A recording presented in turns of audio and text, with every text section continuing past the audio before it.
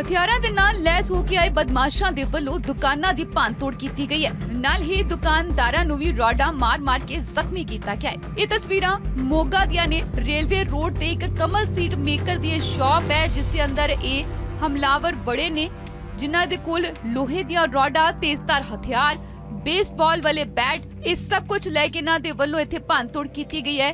CCTV ਤਸਵੀਰਾਂ ਸਾਹਮਣੇ ਆਈਆਂ ਨੇ, ਜਿਸ ਵਿੱਚ ਇਹ ਬਦਮਾਸ਼ ਸਾਫ਼ ਨਜ਼ਰ ਵੀ ਆਏ ਨੇ। ਬਾਈਕ ਤੇ ਸਵਾਰ ਹੋ ਕੇ ਆਉਂਦੇ ਨੇ ਤਿੰਨ ਬਦਮਾਸ਼, ਜਿਨ੍ਹਾਂ ਦੇ ਵਿੱਚੋਂ ਦੋ ਹੇਠਾਂ ਉਤਰਦੇ ਨੇ ਤੇ ਦੁਕਾਨ ਦੀ ਭੰਨਤੋੜ ਕਰਨੀ ਸ਼ੁਰੂ ਕਰ ਦਿੰਦੇ ਨੇ।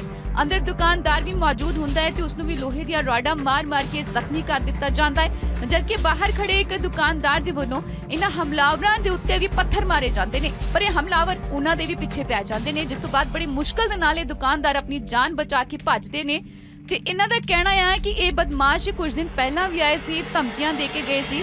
ਇਸ ਦੁਕਾਨਦਾਰ ਦੇ ਭਰਾ ਨੂੰ ਕੁੱਟਮਾਰ ਕਰਨ ਦੀਆਂ, ਮਾਰਨ ਦੀਆਂ ਧਮਕੀਆਂ ਦੇ ਕੇ ਗਏ ਸਨ। ਤਾਂ ਪੁਲਿਸ ਨੂੰ ਸ਼ਿਕਾਇਤ ਵੀ ਕੀਤੀ ਗਈ ਸੀ।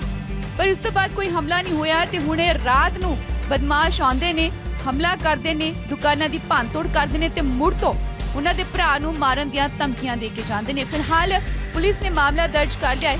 ਅੱਗੇ ਦੀ ਕਾਰਵਾਈ ਕੀਤੀ ਜਾ ਰਹੀ ਹੈ। ਗੱਲ ਤਾਂ ਕੋਈ ਨਹੀਂ ਹੋਈ ਜੀ। ਉਹ ਪਹਿਲਾਂ ਵੀ ਆਏ ਸੀ ਅੱਜ ਤੋਂ 10-15 ਦਿਨ ਪਹਿਲਾਂ ਵੀ ਇਹ 15 ਤਰੀਕ ਦੀ ਗੱਲ ਆ। 15 ਤਰੀਕ ਨੂੰ ਆਏ ਸੀਗੇ ਸਾਨੂੰ ਇੱਥੇ। ਪੁੱਛਦੇ ਪਏ ਸੀ ਮੁੰਡਾ ਕਮਲ ਪੁਰੀ ਨਾਮ ਦਾ ਕੌਣ ਆ? ਉਹ ਇਸ ਤਰ੍ਹਾਂ ਪੁੱਛ ਕੇ ਤੇ ਉਸ ਤੋਂ ਤੁਹਾਨੂੰ ਧਮਕੀ ਦੇ ਕੇ ਚਲੇ ਗਏ ਸੀਗੇ। ਅਸੀਂ ਕੰਪਲੇਂਟ ਵੀ ਕੀਤੀ ਸੀਗੀ ਥਾਣੇ 'ਚ। ਕੀ ਧਮਕੀ ਦੇ ਗਏ ਕਿ ਪੁਰੀ ਦੇ ਕਹਿੰਦੇ ਮਾਰਨੇ ਕਹਿੰਦੇ 60 ਫੇਟਾ ਮਾਰਨੀਆਂ ਕਹਿੰਦੇ ਗਾਲੀ ਗਲੋਚ ਵੀ ਕਹਿ ਕੇ ਕਰ- ਕੱਢ ਕੇ ਗਏ ਸੀਗੇ ਪੁਰੀ ਨਾਂ ਦੇ ਮੁੰਡੇ ਨੂੰ। ਪੁਰੀ ਮੇਰਾ ਭਰਾ ਹੀ ਹੈ ਜੀ ਇੱਧਰ ਕਮਲ ਨਾਮ ਜੀ ਦਾ। ਉਹਨੂੰ ਧਮਕੀ ਦੇ ਕੇ ਗਏ ਸੀਗੇ। ਉਹਦੇ ਸਿਰਫ ਇਕੱਲੀ ਧਮਕੀ ਦੇ ਕੇ ਚਲੇ ਗਏ ਸੀ। ਥਾਣੇ 'ਚ ਕੰਪਲੇਂਟ ਵੀ ਕੀਤੀ। ਉਹਦੇ ਉਹਨਾਂ ਨੇ ਚਲ ਕੁੱਟਮਾਰ ਨਹੀਂ ਕੀਤੀ। ਕੱਲ ਆਏ ਸੀ ਫੇਰ ਉਹ। ਕੱਲ ਉਹਨਾਂ ਨੇ ਸਿੱਧੀਆਂ ਮਤਲਬ ਕੁੱਟਮਾਰੀ ਕਰਨੀ ਸ਼ੁਰੂ ਕਰਤੀ। ਤੇ ਤੇਜ਼ ਤਾਰ ਹਥਿਆਰ ਸੀ ਉਹਨਾਂ ਕੋਲੇ।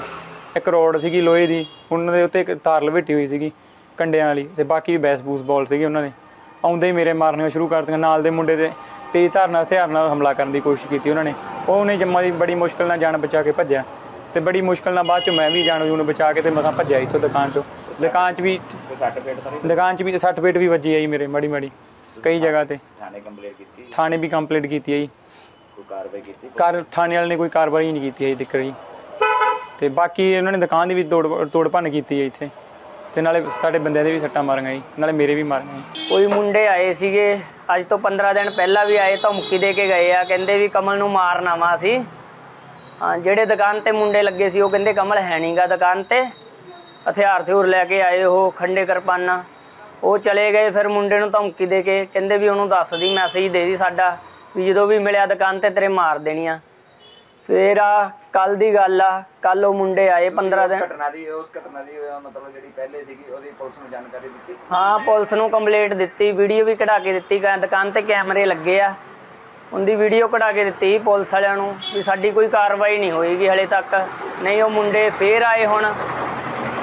ਕੱਲ ਦੀ ਗੱਲ ਆ 15 ਦਿਨ ਬਾਅਦ ਆਏ ਉਹ ਫੇਰ ਸੱਟਾਂ ਮਾਰ ਗਏ ਮੁੰਡਿਆਂ ਦੇ ਦੁਕਾਨ ਤੇ। ਉਹਨਾਂ ਨੂੰ ਪੁੱਛਦੇ ਵੀ ਕਮਲ ਕੌਣ ਆ? ਉਹ ਆਂਦੇ ਉਹਨਾਂ ਦੇ ਹੀ ਮਾਰਨ ਲੱਗ ਗਏ ਮੁੰਡੇ ਦੇ।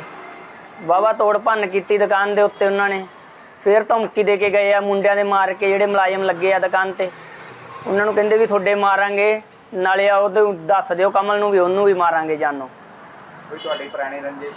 ਕੋਈ ਪ੍ਰਾਣੀ ਸਾਡੀ ਕਿਸੇ ਨਾਲ ਲਾਗ ਡਾਟ ਨਹੀਂ ਕਿਸੇ ਨਾਲ ਕੋਈ ਅਸੀਂ ਲੜਾਈ ਨਹੀਂ ਕਰਦੇਗੇ ਅਸੀਂ ਦੁਕਾਨਦਾਰ ਬੰਦੇ ਆ ਅਸੀਂ ਕਿਸੇ ਨਾਲ ਲੜਦੇ ਨਹੀਂਗੇ ਉਹ ਤੁਹਾਨੂੰ ਜਾਣਦੇ ਆ ਜਾਂ ਤੁਸੀਂ? ਨਹੀਂ ਉਹ ਕੋਈ ਵੀ ਨਹੀਂ ਜਾਣਦਾ ਜੀ ਸਾਨੂੰ।